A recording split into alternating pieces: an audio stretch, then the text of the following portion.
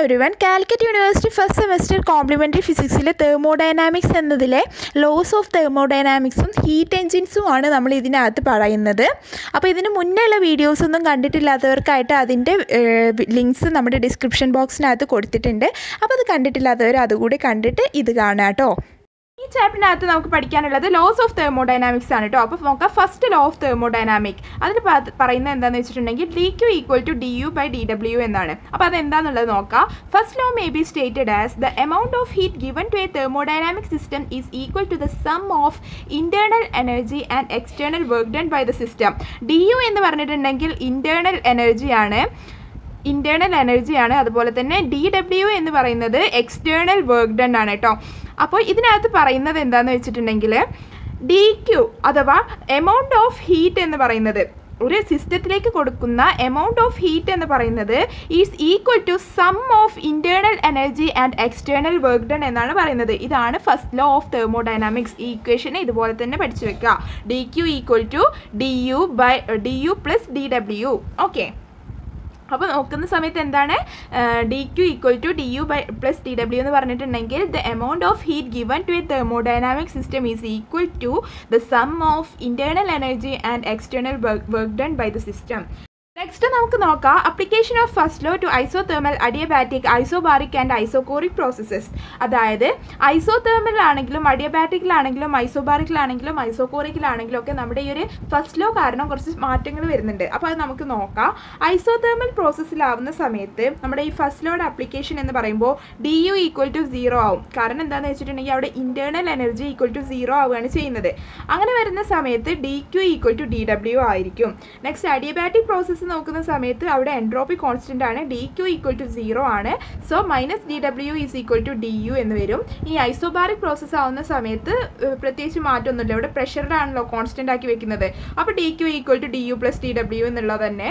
Next isochoric process നോക്കുന്ന സമയത്ത് അവിടെ വോളിയത്തിന്റെ change D dub D V എന്ന് പറയുന്നത് സീറോ ആണ്. അപ്പോൾ വോളിയം എന്ന് പറയുന്നത് വർക്ക് ഡണ്ണുമായിട്ട് ബന്ധമുള്ളതാണ്. അപ്പോൾ ഡി ഡബ്ല്യു എന്ന് പറയുന്നത് അഥവാ അവിടുത്തെ വർക്ക് ഡൺ എന്ന് പറയുന്നത് സീറോ ആവും. അപ്പോൾ D Q equal to D U എന്ന് വരും. ഇവിടെ മാറ്റമില്ലാത്തത് പ്രഷറിന്റെ കേസിൽ. ഐസോബാറിക്കിൽ മാത്രമാണ് എന്തുള്ളത്? ആ ഇക്വേഷൻ അതുപോലെ തന്നെ ഉള്ളത്. ബാക്കിയുള്ളതിലൊക്കെ ഓരോ മാറ്റങ്ങൾ വരുന്നുണ്ട്. പഠിക്കാനുള്ളത് application of first law to specific heat specific ഹീറ്റുമായിട്ട് എങ്ങനെയാണ് ബന്ധപ്പെട്ടിട്ടുള്ളതെന്നാണ് കേട്ടോ. C P minus C V is equal to R എന്ന് വരും. ഈ ഇക്വേഷനെയാണ് നമ്മൾ മേയേഴ്സ് ഇക്വേഷൻ എന്ന് പറയുന്നത്. ഓക്കെ അപ്പോൾ application of first law to specific heat ചോദിച്ചിട്ടുണ്ടെങ്കിൽ നമുക്ക് മൂന്ന് മാർക്കിനൊക്കെ വരുന്ന ക്വസ്റ്റ്യൻസിൽ ചിലപ്പം ചോദിക്കാവുന്ന ഒരു ക്വസ്റ്റ്യനാണ് ഇതൊക്കെ കേട്ടോ. അപ്പോൾ C P minus C V is equal to R എന്ന് വരും. ഈ ഒരു ഇക്വേഷനെയാണ് മേയേഴ്സ് ഇക്വേഷൻ എന്ന് പറയുന്നത്. അപ്പോൾ മേയേഴ്സ് ഇക്വേഷൻ എങ്ങനെയാണ് ഉണ്ടായിട്ടുള്ളത്? Application of first law to specific heat കൊണ്ടാണ് ഈ ഒരു ഇക്വേഷൻ ഉണ്ടായിട്ടുള്ളത്. ഓക്കെ നെക്സ്റ്റ് നമുക്ക് പഠിക്കാനുള്ളത് സെക്കൻഡ് ലോ ഓഫ് തെർമോഡൈനാമിക് ആണ്.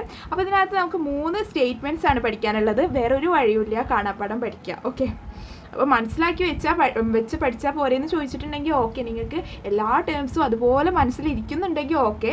പക്ഷേ ഇതിലേതെങ്കിലും ഒരു ടേം വിട്ടുപോയിട്ടുണ്ടെങ്കിൽ തന്നെ നമ്മുടെ ആൻസർ കീയിലുള്ള ഏതെങ്കിലും ഒരു ടേമാണ് വിട്ടുപോയിട്ടുണ്ടെന്നുണ്ടെങ്കിൽ നിങ്ങൾക്ക് മാർക്ക് പോകും അതുകൊണ്ടാണ് പറയുന്നത് ഇതിനകത്ത് മൂന്ന് സ്റ്റേറ്റ്മെന്റ്സ് ആണ് വരുന്നത്. മൂന്ന് സയന്റിസ്റ്റുകളുടെ പേരാണ് Kelvin Clausius Planck.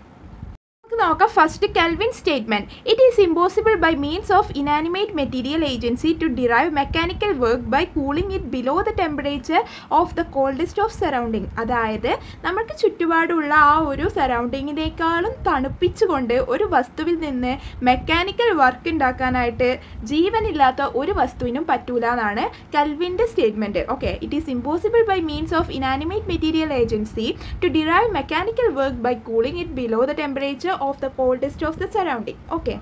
Next, closure statement.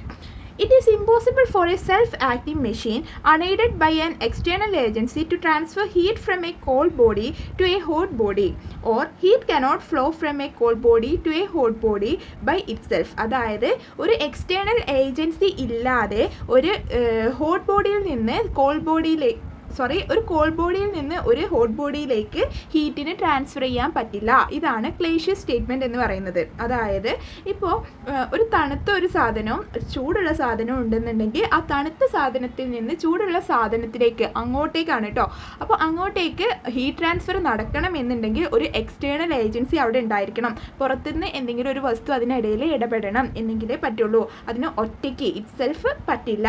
Okay next പറയുന്നത് പ്ലാങ്ക് സ്റ്റേറ്റ്മെന്റ് ആണ്. It is impossible to construct an engine working in a complete cycle will produce no effect other than the raising of the weight and the cooling of the heat reservoir അതായത് ഇതിനകത്ത് പറയുന്നത് എന്താണെന്ന് വെച്ചിട്ടുണ്ടെങ്കിൽ it is impossible to construct നമുക്കൊരു engine construct ചെയ്യാൻ വേണ്ടി പറ്റില്ല എന്നാണ് പറയുന്നത്. എങ്ങനെയുള്ളത്? Working in a complete cycle ഒരു കംപ്ലീറ്റ് സൈക്കിളായിട്ട് പ്രവർത്തിക്കുന്നതും will produce no effect other than the raising of weight അതിന്റെ വെയിറ്റ് കൂട്ടുക അതുപോലെ തന്നെ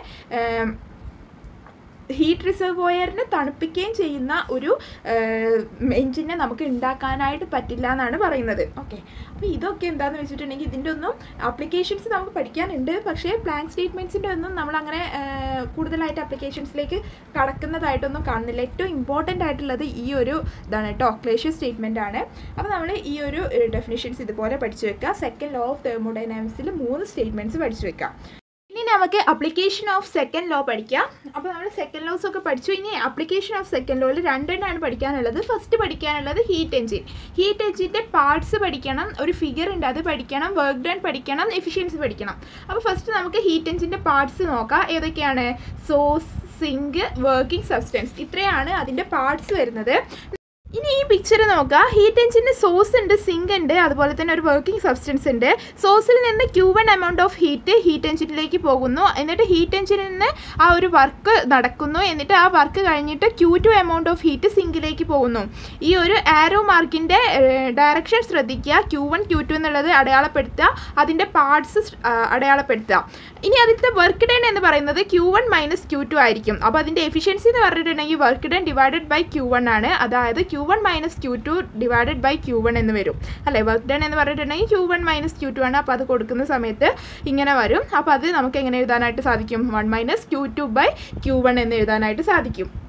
ഇനി നെക്സ്റ്റ് വരുന്നതാണ് കാർനോട്ട് എഞ്ചിൻ അപ്പോൾ സെക്കൻഡ് ലോന്റെ രണ്ട് അപ്ലിക്കേഷൻസ് ഉണ്ട്. സെക്കൻഡ് തെർമോഡൈനാമിക്സിന്റെ സെക്കൻഡ് ലോ തന്നെ രണ്ട് അപ്ലിക്കേഷൻസ് ആണ് പഠിക്കുന്നത്. ഫസ്റ്റ് ഹീറ്റ് എഞ്ചിനാണ് സെക്കൻഡ് കാർനോട്ട് എഞ്ചിനാണ് കാർനോട്ട് എഞ്ചിന് നമുക്ക് അത്യാവശ്യം നല്ല ലെങ്ത്തിൽ തന്നെ പഠിക്കാനുണ്ട്. അപ്പോൾ അത് കാരണം തന്നെ ഞാൻ ചെറിയ ചെറിയ പാർട്സ് ആയിട്ടാണ് പറയുന്നത് കേട്ടോ. കാർനോട്ട് എഞ്ചിന്റെ ഫസ്റ്റ് നമുക്ക് ഒരു ഐഡിയൽ എഞ്ചിന് എങ്ങനെയാവണം എന്നുള്ളത് പഠിക്കാനുണ്ട്. പിന്നെ കാർനോട്ട് എഞ്ചിന്റെ പാർട്സ് പഠിക്കാനുണ്ട്. കാർനോട്ട് സൈക്കിൾ പഠിക്കാനുണ്ട്. ഐസോതേർമലും അഡിയോമാറ്റിക് അഡിയോബാറ്റിക്കും ആയിട്ടുള്ള എക്സ്പാൻഷനും അതുപോലെ തന്നെ കംപ്രഷനും പഠിക്കാനുണ്ട് പിന്നെ വർക്ക് ഡൺ പഠിക്കാനുണ്ട് എഫിഷ്യൻസി പഠിക്കാനുണ്ട് ഇത്രയും കാര്യങ്ങൾ പഠിക്കാനുണ്ട്. അപ്പോൾ നമുക്ക് നോക്കാം. First ideal engine should have എന്തൊക്കെ വേണം? ഒരു ഐഡിയൽ എഞ്ചിൻ ആയിട്ടുണ്ടെങ്കിൽ ഇത് നോക്കാം. എന്തൊക്കെയാണ് വേണ്ടത്? ഫ്രീ ഫ്രം ഫ്രിക്ഷൻ അത് ഫ്രീ ഫ്രം ഫ്രിക്ഷൻ ആയിരിക്കണം.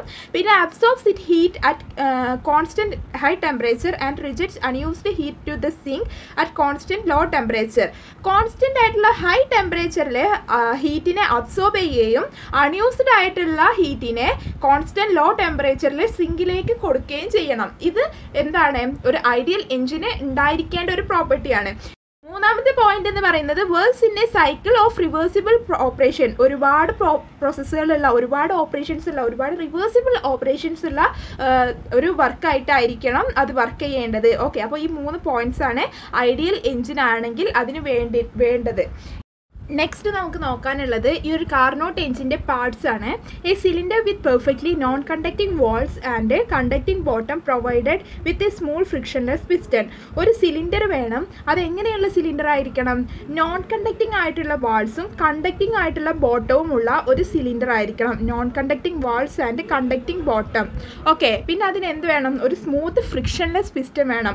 ഫ്രിക്ഷൻ ഇല്ലാത്ത സ്മൂത്ത് ആയിട്ട് നമുക്ക് മൂവ് ചെയ്യാൻ പറ്റുന്ന ഒരു പിസ്റ്റണും വേണം. Okay അപ്പോൾ a cylinder with perfectly non conducting walls and conducting bottom provided with a smooth frictionless piston ഇനി രണ്ടാമത്തത് നോക്കാം. A source of heat of infinite thermal capacity maintained at a high temperature T one K T one K എന്നുള്ള ഒരു high ടെമ്പറേച്ചറിൽ maintain ചെയ്തിട്ടുള്ള infinite thermal capacity ഉള്ള ഒരു source വേണം. അത്രയും ചൂട് കൊടുക്കാൻ കഴിയുന്ന ഒരു സോഴ്സ് വേണം. ഇനി നെക്സ്റ്റ് നോക്കാം. A sink of infinite thermal capacity maintained at a lower temperature T two K ഒരു സിങ്ക് വേണം. ആ സിങ്കിന്റെ ടെമ്പറേച്ചർ എന്ന് പറയുന്നത് ടി ടു കെ ആണ്. ലോവർ ടെമ്പറേച്ചറാണ് ഈ ടി ടു കെ എന്ന് പറയുന്നത്. അത് എങ്ങനെയുള്ളത് തന്നെ ആയിരിക്കണം. ഇൻഫിനിറ്റ് തേർമൽ കപ്പാസിറ്റി ഉള്ളത് തന്നെ ആയിരിക്കണം. Next a perfectly non conducting platform where the cylinder can be placed ഇതൊക്കെ വെക്കാൻ വേണ്ടിയിട്ട് സിലിണ്ടറൊക്കെ വെക്കാൻ വേണ്ടിയിട്ട് ഒരു നോൺ കണ്ടക്ടിങ് ആയിട്ടുള്ള ഒരു പ്ലാറ്റ്ഫോമും വേണം. A perfectly non conducting platform where the cyli cylinder can be placed ഈ സിലിണ്ടർ വെക്കാൻ ഒരു നോൺ കണ്ടക്ടിങ് ആയിട്ടുള്ള ഒരു പ്ലാറ്റ്ഫോമും വേണം. നെക്സ്റ്റ് നോക്കാം. ഇതിന്റെ കാർനോട്ട് സൈക്കിളാണ് നെക്സ്റ്റ് പറയുന്നത് കേട്ടോ ഈ ഒരു ഗ്രാഫാണ് കാർനോട്ട് സൈക്കിൾ എന്ന് പറഞ്ഞിട്ടുണ്ടെങ്കിൽ അപ്പോൾ ഇതിനകത്ത് എങ്ങനെ വരയ്ക്കുക എന്നുള്ളത് നോക്കുക. എ ബി സി ഡി എന്ന് പറയുന്ന ഒരു പോയിന്റ് ഉണ്ട്. അപ്പോൾ ആ ഒരു ഷേപ്പ് ശ്രദ്ധിക്കുക. അതാ ഇങ്ങനെ ദെൻ പിന്നെ ഇങ്ങനെ. പിന്നെ ഒരു പോയിന്റ് ഇവിടെ ഒരു പോയിന്റ് ഉണ്ട്. ആ പോയിന്റിലേക്ക് ഇങ്ങനെ ഇങ്ങനെ രണ്ട് കർവുകളായിട്ടാണ് വരുന്നത് കേട്ടോ ഒറ്റൊരു കർവായിട്ടല്ല വരുന്നത്. ഇതിന് ഈ നാല് പോയിന്റ്സ് ആണ് ഉള്ളത്. അതിൽ എ ബി സി ഡി ഇങ്ങനെ നാല് പോയിന്റ്സ് ആണ് ഇതിൽ കാണാനായിട്ട് സാധിക്കുന്നത്. അപ്പോൾ ഈ ഒരു സംഭവത്തിനെയാണ് നമ്മൾ എന്തെന്ന് പറയുന്നത്? കാർനോട്ട് സൈക്കിൾ എന്ന് പറയുന്നത്. എയിലുള്ള പോയിന്റിനെ നമ്മൾ P one V one B P two B two C P three V three D P four V four ഇങ്ങനെയാണ് പറയുന്നത്. പിന്നെ ഇതിനകത്തുള്ള ഹീറ്റ് എനർജീനെ കാണിക്കുന്നുണ്ട്. ക്യൂ വൺ ക്യൂ ടു ഇവിടെ ഉണ്ട്. പിന്നെ ടെമ്പറേച്ചർ ആണെന്നുണ്ടെങ്കിൽ ഇങ്ങോട്ടേക്ക് ടി വൺ ഇങ്ങോട്ടേക്ക് ടി ടു ആരോ മാർക്ക് ശ്രദ്ധിക്കുക. ഇങ്ങോട്ടേക്കാണ് ടി വൺ ഇങ്ങോട്ടേക്ക് ടി ടു ഓക്കെ നമ്മൾ എന്ത് പഠിച്ചു? കാർനോട്ട് സൈക്കിൾ എന്ന് വെച്ചാൽ എന്താണെന്നുള്ളത് പഠിച്ചു. ഇനി നെക്സ്റ്റ് നമുക്ക് പഠിക്കാനുള്ളത് ഐസോ തേർമൽ എക്സ്പാൻഷൻ ആണ്. Isothermal expansion adiabatic expansion isothermal compression adiabatic compression ഇങ്ങനെയാണ് നമുക്ക് പഠിക്കാനുള്ളത്. അപ്പോൾ ഇതിന്റെ ഒക്കെ ഇക്വേഷൻസ് മനസ്സിലാക്കി വെക്കുക എന്നുള്ളതാണ് കേട്ടോ ചെയ്യാനുള്ളത്.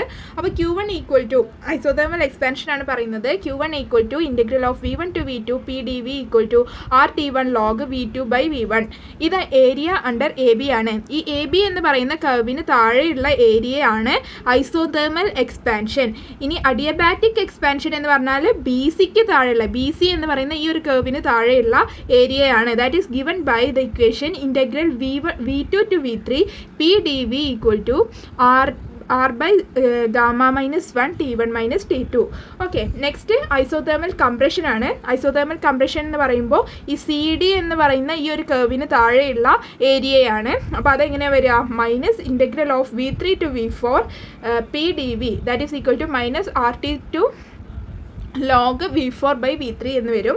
നെക്സ്റ്റ് അഡിയബാറ്റിക് കംപ്രഷൻ ആണ്. അഡിയബാറ്റിക് കംപ്രഷൻ എന്ന് പറഞ്ഞിട്ടുണ്ടെങ്കിൽ ഈ ഒരു കവിന്റെ താഴെയുള്ള ഏരിയ ആണ്. That is given by integral V V four to V one P D V that is equal to R by gamma minus one T two minus T one അതെന്താണ്? ഈ area under D A ഈ ഒരു കർവിന് താഴെയുള്ള ഏരിയയാണ് okay അപ്പോൾ ഇത്രയും equations ഇതുപോലെ മനസ്സിലാക്കി വെക്കുക. ഐസോതേർമൽ എക്സ്പാൻഷൻ അതുപോലെ ഐസോതേർമൽ കംപ്രഷൻ അത് രണ്ടും വരുന്നത് ഈ ഭാഗങ്ങളും അതുപോലെ അഡിയബാറ്റിക് എക്സ്പാൻഷനും അഡിയബാറ്റിക് കംപ്രഷനും ഈ ഭാഗങ്ങളുമാണ് വരുന്നതെന്നുള്ളത് മനസ്സിലാക്കി വെക്കുക കേട്ടോ നെക്സ്റ്റ് ടോട്ടൽ വർക്ക് ഡൺ നോക്കാം. Total work done by Carnot cycle അതാണ് നോക്കുന്നത്. കാർണോട്ട് സൈക്കിൾ അല്ല കാർനോട്ട് എഞ്ചിൻ അതാണ് നോക്കുന്നത്. Work done is equal to R into T one minus T two log V two by V one okay ഇനി next ഇതിന്റെ efficiency ആണ് നോക്കാനുള്ളത്. Efficiency eta is equal to W by Q one that is equal to T one minus T two by T one that is equal to one minus T two my T two by T one okay ഇനി next ഒരു കാര്യം കൂടി പഠിക്കാനുണ്ട്. Expansion ratio ഇത് പഠിക്കണമെന്ന് നിർബന്ധമില്ല. ഇതിനകത്ത് raw എന്താണെന്നുള്ളത് ജസ്റ്റ് പറയുന്നു എന്ന് മാത്രം. V three by V two equal to V four by V one ആണ്. ഇതാണ് എക്സ്പാൻഷൻ റേഷ്യോ എന്ന് പറയുന്നത്. അപ്പോൾ ഇത് വെച്ചുകൊണ്ട് നമ്മൾ എങ്ങനെയാണ് എഫിഷ്യൻസി പറയുന്നതെന്ന് നോക്കാം. Eta equal to one minus V two by V three always to gamma always to gamma minus one എന്ന് വരും. That is equal to one minus one by rho raise to gamma minus one എന്ന് വരും. Okay അപ്പോൾ efficiency കാണാനുള്ള ഇക്വേഷൻസും പഠിച്ചു. ഇനി next നമുക്ക് പഠിക്കാനുള്ളത് കാർനോട്ട്സ് തിയറാണ് കാർനോട്ട്സ് തിയറത്തിൽ രണ്ട് പോയിന്റ്സ് ആണ് പഠിക്കാനുള്ളത്. ഫസ്റ്റ് വൺ എന്ന് പറയുന്നത് no engine can be more efficient than a reversible engine operating between the same temperature അതായത് ഒരു സെയിം ഒരേ ടെമ്പറേച്ചറിൽ വർക്ക് ചെയ്യുന്ന ഒരേ ടെമ്പറേച്ചറിന് ഇടയിൽ വർക്ക് ചെയ്യുന്ന ഒരു റിവേഴ്സിബിൾ എഞ്ചിനേക്കാളും നന്നായി എഫിഷ്യന്റ് ആയിട്ട് വർക്ക് ചെയ്യാൻ ഒരു എഞ്ചിനും കഴിയില്ല. ഇതാണ് കാർണോട്ട് തിയറത്തിൽ ഫസ്റ്റ് വണ്ണ് പറയുന്നത്.